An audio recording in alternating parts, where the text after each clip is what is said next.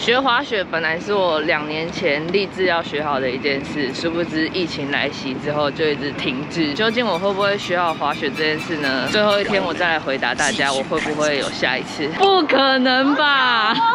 我们终于汇合了。哎，你们怎么也在这？哈喽耶！啊，你们今天在干嘛？逛精品啊，来，都拿出来啊！没有啊，没有，怎么会这样？我们这小知足啊。小知足。对啊。啊，另外两个嘞？另外两个还在血拼。啊，你们准备好明天、后天、大后天的行程了吗？我们一直在做心理建设啊我啊。好像不行了，我逛的腿有点累。我们这三天就来看一下，有谁会开始慢慢的离开这些影片。你说一个一个被推走吗？还是滚到雪堆里？好可怕！好可怕哦！我们这次走在路上呢，因为肚子还分不清楚要看左边看右边。有一次过弯的时候，他踩到罐子，然后我说：“哎、你小心，这样不能滑雪。”他就这样，哦，我在看有没有罐子。我真的踩到差点扭到，差一点就不能去滑雪了，好可惜哦。第二次呢，他也是分不清楚，然后我就挡他说：“哎、豆子。”我说：“你差点又不能滑雪。”他说：“好可惜哦。我就跟你讲，这一趟要滑雪，你如果不想滑，那你为什么要跟我们一直在？建设啊。我们在里面一楼、你一欸。出现，你就是引起大家的争议。不是，但是重点是你怎么会没找到我们？我们在里面呢、们绕我们是不是绕了一圈？不是嘛？你们搞不清楚状况。所有人站在这里等你，然后等你们两个逛街，什么意思？跟一群路痴出门好累哦。全部人分开走。然后，大家解散。解散嘛，我们就解我散了。解散不合嘛，反正你们不合对啊没有发现一件事吗？我觉得我们真的很猛，我们带着你的家人，就是姑丈本人玩了一整天的公斤。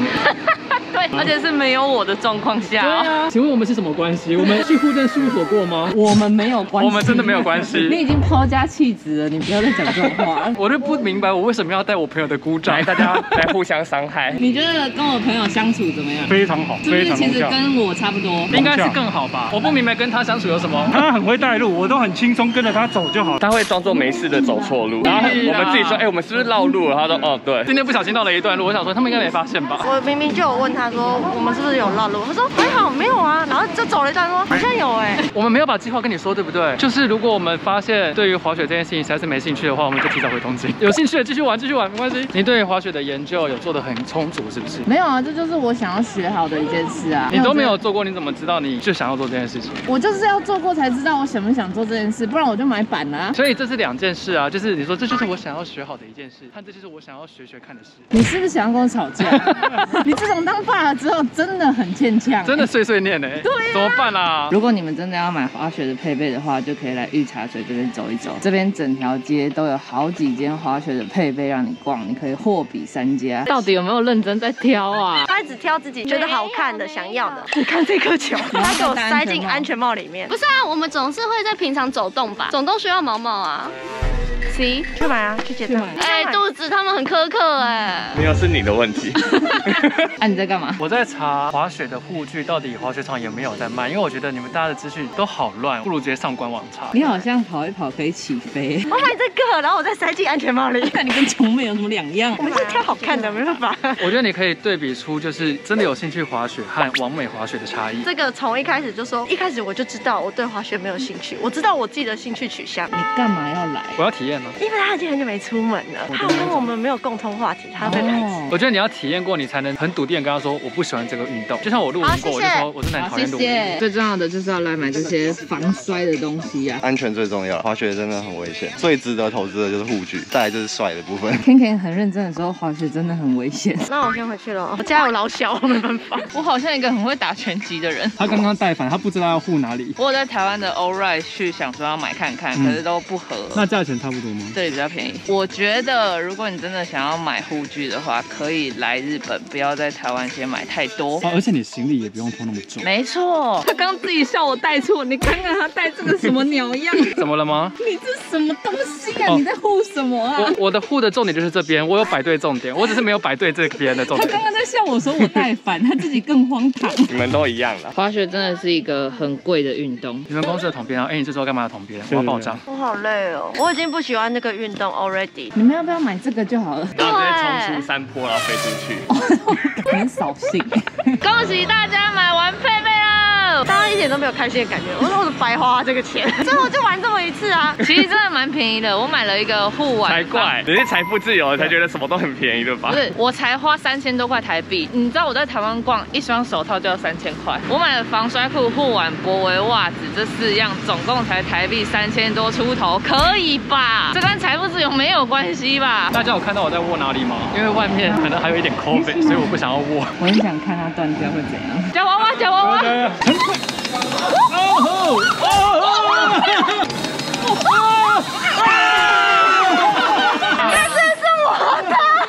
你现在是不是觉得你很帅？我觉得我好像很强哎。干扯后面那三个人说，这种挖机好像真的很好夹，现在全部跃跃欲试。所有人自信爆棚。好了，今天也在东京废了一天啊，准备哪有？有费吗？很充实哎、你们就顺顺的听我讲完会怎样？解散啊，我们就解散。明天就要正式的前往藏网，准备我们为期三天的滑雪。当 我讲到这个，大家都安静了。我没有人要接话。昨天我们逛的很酸的时候，然后 Ken 就说，哦，我有带传统贴布，然后我说，那我可以先要，他说没有，我有配几的。配速的，加油好吗？大家晚安。大家早安。我们这两天住的是这一间叫做 PO House。你是 PO 本人吗？你们房间很赞。你们做 YouTuber 吗？对啊。订阅一下。谢谢。耶，抢到一个订阅。PO 是台湾人嘛，对不对？对，我是台湾人。因为我们现在一大堆行李，但我们还会在东京待一下下才去藏王，所以 PO 就让我们把行李放在他的办公室。我觉得你刚刚设了一个陷阱给破跳，你先让他知道你是台湾 YouTuber。我没有然后再问他说我们的拉客要放哪里，他说哦，那你放我办公室吧。我不是故意的。你这条路铺的很好。给朋友一个掌声。现在我们就没有行李了，无行李一身轻啊！台湾 YouTuber 的必应。他明明就说每个人都可以放，你们在那边。我们现在要离开东京去东北地区，JR 有出一个给外国人的铁路周游券，它就是新干线可以搭到宝，然后还有一些 JR 的市区的什么三手线啊等等的。那我们现在买的就是一个五天的 pass，JR 搭到宝。啊，如果我们今天一时间突然不想滑雪，我们就买通到北海道的那一区。我们会今天买的原因是因为我们从今天开始算五天，刚好是回到机场的那一天。所以我们可以直达到机场。哎，对，它有包含到机场的票，成天雨天。那到处都可以买吗？你要上它的那个官网看，通常大部分人会在机场的这种柜台买，或者是在东京站买。啊，我刚刚查上野也可以买，所以我们才来这边。我们是在上野车站买票，但上野车站好大一站。从说以台北来想象，上野比较像是板桥，东京比较像是台北车站的概念。在买票的同时，先在旁边的超市逛一下，还蛮好逛的。上野车站的超市很大，日本人真的讨厌的要命哎！面包超人便当盒，而且里面的饭还是面包超人。但是吃完我要怎么洗那个盒？洗碗巾很难吗？你家没有洗碗巾吗？新干线的便当吗？太可爱了吧！这应该不是我被套上日本滤镜吧？他们的便当真的看起来都超好吃的，但是日本人超爱吃冷便当，不知道为什么，他们是不加热的，气死人了！这个蛋是鸟蛋哎、它是让那种如果小分量或是给小孩子吃。终于拿到我们的票了，我们排了应该超过半个小时才拿到，这样子来回一张是两万块日币。日本的交通蛮惊人的哦。对，那个交通的花费上是要注意。因为我们家肚子痛呢，他需要买一些礼物给他妈，所以我们又回到了银座。小猛就说有一间非常好吃的咖喱饭，叫做练华亭。然后远远的他就说不会是排队的那一家吧？对，排超多人呢，什么意思啊？